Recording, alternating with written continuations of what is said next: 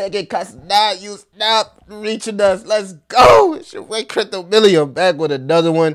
Guys, the, the, look, I'm cau- I put this in my Patreon, right? I, I'm, I'm cautious, but I'm not scared, right? Scared money don't get no money. All right. Now, at the end of the day, you know, proper, please, please practice proper risk management because we, we are we are on the cusp of some important sugar honey iced tea stuff that's going across the world. But uh, let, that's neither here nor there. All right, let's keep it positive. Today's video, we're gonna be talking about Bitcoin DeFi, guys. I think Bitcoin DeFi is going to print some millionaires, and what better than to get into it early, right? Now we got the runes protocol. I don't want to say protocol, right? We got the runes, uh, token standards, and, and the things that's coming out. So right now, you want to start to do your research and kind of front run these narratives. All right. So today's video, I want to be talking about some BRC 20 plays that I'm looking at infrastructure plays. Right. Of course, the BRC 20 um, narrative is still a bit high risk. Right. We we've we've got burnt before with the BR. Look, we look you win some and you lose some, right? But I'm, I'm extremely interested in this narrative because of the potential of Bitcoin DeFi, right? Bitcoin transcends digital gold, right? Because of the opportunity that L2s are allowing BTC as far as scalability, innovation, and utility, right? You, you can't scale gold, right? I'm, I'm getting my lawn cut, so if y'all can, y'all, if y'all hear that, bear with me. You, you can't you can't really scale gold, right? You can't build on top of it, right? You can't build an app on gold. But with the emergence of these Bitcoin L2s, you will be able to build on top of Bitcoin. And why is that important? Guys, Bitcoin has the most liquidity out of any ecosystem in crypto, right? So you want to be a part of the chains that have the most liquidity, all right? Now, it's nothing wrong with front running a chain that you think that has potential, right?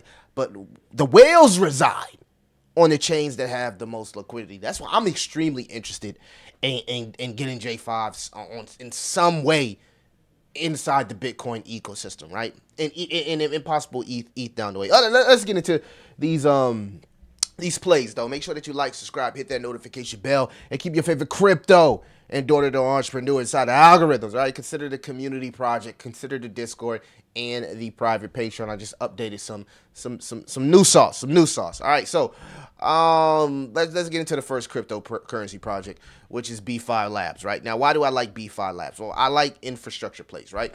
And BeFi Labs allows you, right? It's kind of like the Jupiter, right? The Jupiter or the Raydium. If you ever use Solana and you use a swap, that's that's what this is, right? It allows you to simply trade cryptocurrency, right? It's an exchange, a Bitcoin exchange, right? It looks kind of like GroveX, right?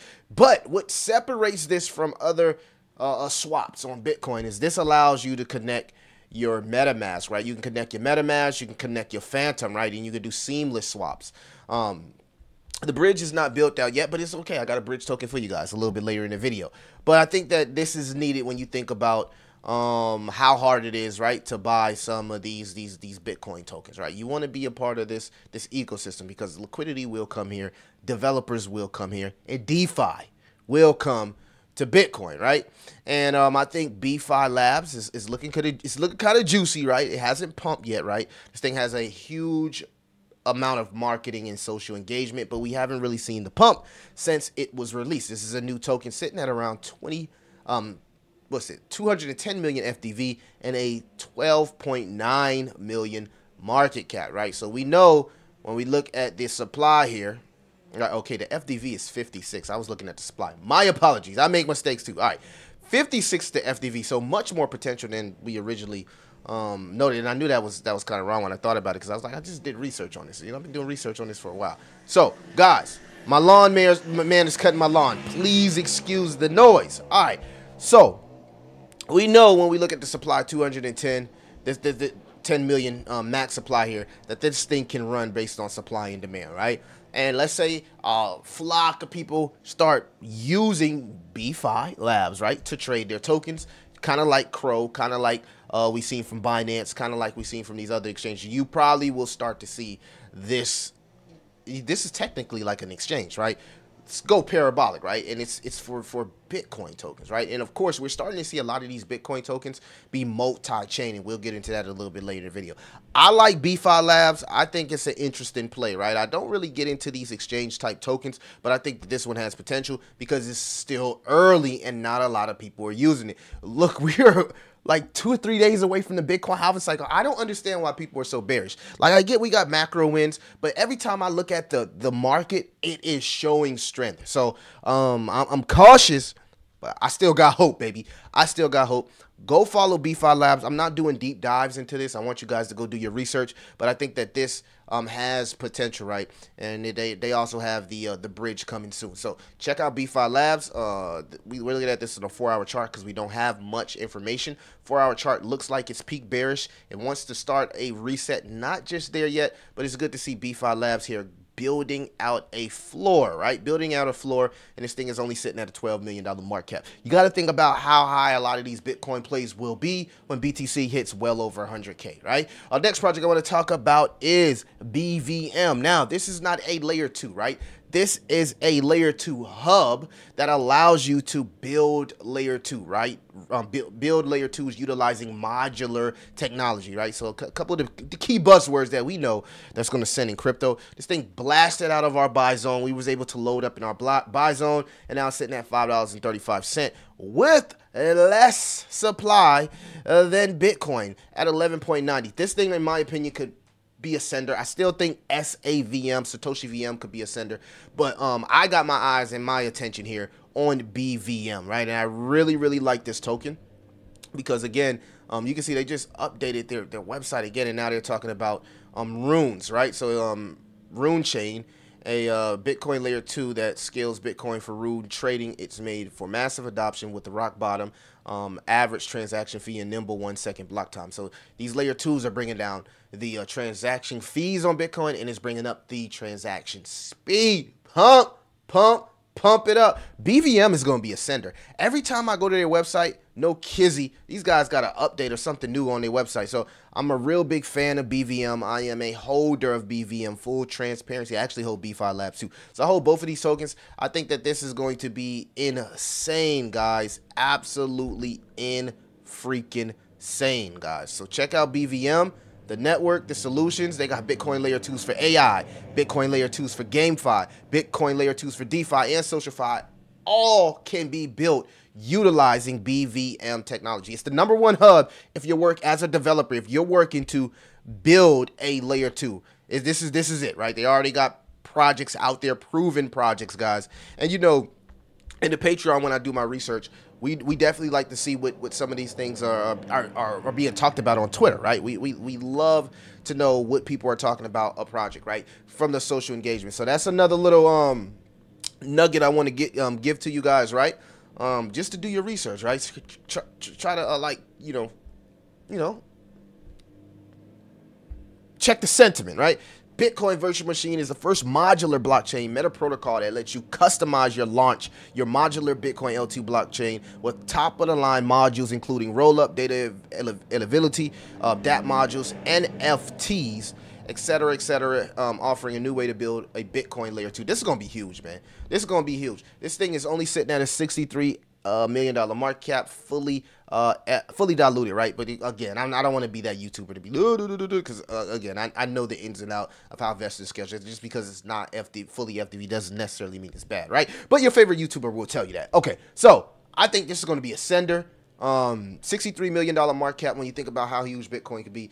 This right here could be the literally the hub for Bitcoin layer twos, right? So we're starting to see a lot of Bitcoin layer twos go up there. I think this thing goes parabolic, in my opinion, right? Um, not financial advice. All of these Bitcoin plays are high risk. All right, next token I want to talk about is Runes a Bridge. If you're part of the Patreon or the Telegram J5 channel, you are already in this, right? Because we talked about this on the Patreon. We talked about this in the J5 Telegram channel and why I'm extremely bullish on this project. It's looking to reset here. Hold on, hold on. We didn't get into the BVM um, chart chart looking good. All right, back to uh, Runes Bridge. All right, Runes Bridge four hour chart. Don't have much information, guys. This is the wormhole of Bitcoin. This is the ChainPort of Bitcoin. This is the Axelar of Bitcoin, right? This will allow tokens to bridge onto the Bitcoin network, right? How a bridge works. Let's say if you were bridging from Ethereum to, to the Bitcoin network, what Runes Bridge and what a lot of these bridges allow you to do is simply mint, right? Oh, excuse me. Burn the original tokens on the original bridge and remint them on the new chain, right? So, how, excuse me. Let's let's rephrase that, right? They burn the original tokens on the original chain and remint the same amount of tokens on the new chain, right? So technically that's what these bridges do. And this is the first, the first Runes bridge. Not the first BRC20 bridge, but the first Runes bridge. A lot of people are huge on this team, guys. This thing is sitting at $11 million market cap, 100 million to total supply, only 17 cent. This is going to be a absolutely absolute sender if they execute, right? Bridging mechanism to enhance. You can already see that they're working with multiple chains already. If we uh, kind of like swing down here, uh, they are working with uh, multiple chains.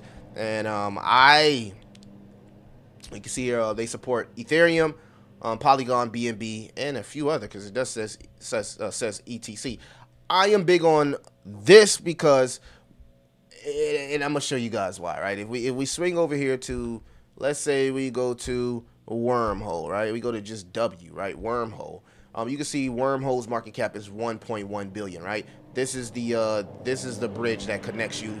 Um, a lot of people use this bridge for Solana um, um, bridges, right? To expand expand to Solana. So let's say if you got an ETH token, you can use wormhole to expand to um, Solana. Another huge bridge here would be uh, Axelar. You can see Axelar here um, $692 million market cap. And when you swing over here to Runes Bridge, guys, this thing is only $11 million market cap. So still high risk, right? We want to know the securities, though. We know bridge, bridges can be hacked, right? I think Polkadot has a bridge as well. We ain't going to talk about PBRC. Bit, bit, bit, BitBoy Crypto talking about. No, but back to Runes Bridge. $11 million market cap. $17 million FDV, guys if this becomes the premier bridge to bridge these other chains to the Bitcoin ecosystem, this could be huge, right? This means your favorite meme coin, if it wants to become multi-chain, they'll probably most likely use Runes Bridge if they want to make a Runes pair, right? Uh, if you know your, your favorite utility token wants to have some of that Bitcoin exposure, right? They'll probably use Runes Bridge if they want to make that Runes pair. So I think that this could be this this this could have something. This this could definitely be something, right? Don't don't don't forget. You know, Millie was the YouTuber that told you about Runes Bridge. When you look up one day and you're like, what the heck? This thing is on the same market cap as AXL or or or Wormhole. Now, of course, guys, high risk. We are in a potential black swan event, but I mean, fortune favors the brave. You got to be a little bit fearless if you're working to be successful inside the crypto market. And speaking of one of the cryptocurrencies I was talk, going to talk about today, which is pups. So what I also did was I looked at this exchange, right? I went to BeFi Labs, guys, and I said, you know what?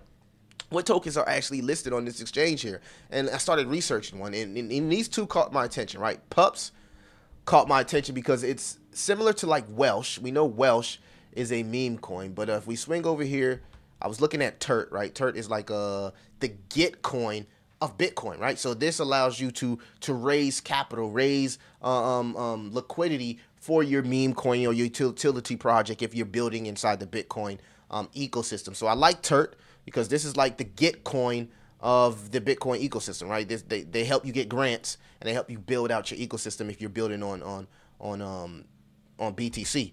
But this meme coin kind of, you know, caught my attention because I like I like Welsh, but Welsh is in multi-chain. Pups is literally a meme coin on Bitcoin, but they have multiple pairs on Solana.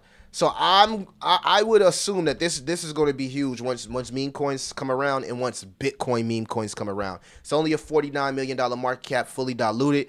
Um, the supply is is scarce, guys. This is a scarcity token right here, right? Hyper scarcity scarcity token way less tokens than Bitcoin, and it's 63 bucks. All right, so you're paying, um, you you, you know you, you hey, you, you, know how I go. You you know, fortune favors the brave. But I think that pups is going to be huge. You can see that what we was just looking at is one of the only tokens in the top 200 that's actually green on the hour. So um, and a few few of them popping there. So we're seeing strength in the market. Pups is a meme coin on Bitcoin. Another meme coin on Bitcoin would be Welsh Corgi coin. So these are some meme coins. This is at a $45 million market cap. This was the number one meme coin on B- BTC for a while, but it's since been um, surpassed here by uh, by Pups. So uh, check out Pups. Check check out Welsh if you're into meme coins, right? Because best believe there's going to be some super senders on Bitcoin, right? Inside the Bitcoin ecosystem. I like Pups. I like Welsh. All right, next token I want to talk about because DEXTools is acting up here.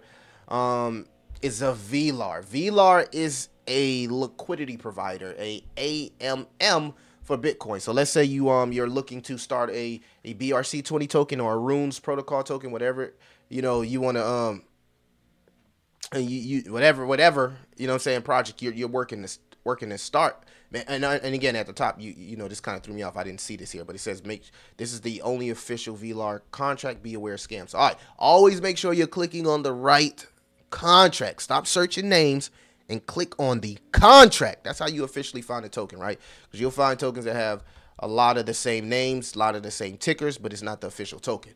Velar, right? You can see here looking nice on the four hours. A rather new token, but there, if, if you guys um, follow base, right, and you know you like Aerodrome and you like Velodrome, this is the Velodrome and Aerodrome of Bitcoin, right? It's a liquidity provider in AMM and allows you to uh, provide liquidity for your token. So if you're doing any type of development on Bitcoin and you have a token, you're going to need a DeFi liquidity protocol, right? Any chain needs a DeFi liquidity protocol, and I believe this is going to be one of the first movers, right? So they they also got a swap, which is good, right? You can actually swap, but soon they'll be providing a AMM where you can uh pretty much uh add liquidity, right?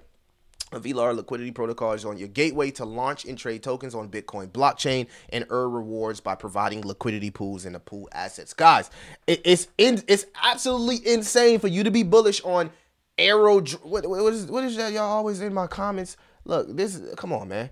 I mean, base is cool, but they don't have as much you know liquidity as, Bitcoin, right? This is why you're early, right? Aerodrome Finance has been an a, a and it's currently sitting at a $287 uh, million market cap up 179%. I'm pretty sure if we went to Uniswap or you or, you know and, and and all these other liquidity providers, you can see insane, right? Insane market caps. But taking a look at a Velar here, it's only a, a 11 million dollar market cap. It is a 190 FDV, but it's a liquidity provider protocol. We'll have to do more research on the vesting schedules, but yeah, go do your homework. Go do your homework. Don't don't rely on Millie to do the homework for you. I'm just pointing you in the right direction of the narrative, what how to find whoop de whoop whoop. So Velar, no one's talking about this. No one's talking about none of these tokens, right? Because no one is really hip on what's to come for BTC. So again, I want to double down on this tweet. Guys, you can't scale, you cannot scale gold.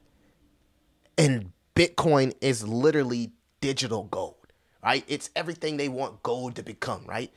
But now with these layer twos and, and these DeFi protocols and these developers building and allowing Bitcoin to become more this we didn't have this years ago, right? You couldn't build on on top of Bitcoin. Only thing that Bitcoin was looked at was a store of value and the greatest asset to be a hedge to inflation, right? Outside of gold. Now we got to start looking at Bitcoin totally different because now we we can build on top of it and, and, and it's scalable, guys.